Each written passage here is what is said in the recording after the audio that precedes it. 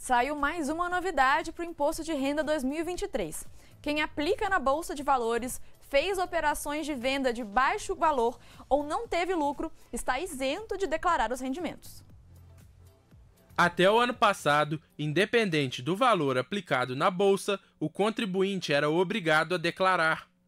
Para 2023, apenas quem vendeu mais de 40 mil reais em títulos variáveis e teve lucro de qualquer valor na venda do ano anterior vai precisar apresentar os rendimentos para a Receita Federal.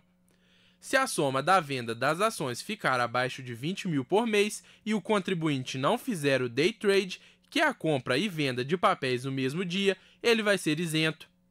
Vale lembrar que se o contribuinte ainda se encaixar nos outros critérios para declaração de imposto de renda, ele não deve declarar apenas o estoque das ações no fim do ano anterior na ficha Bens e Direitos. Também é necessário informar o resultado das operações como lucro ou prejuízo na ficha Renda Variável, com os prejuízos preenchidos com sinal negativo, para que as perdas possam ser abatidas no imposto de renda dos anos seguintes.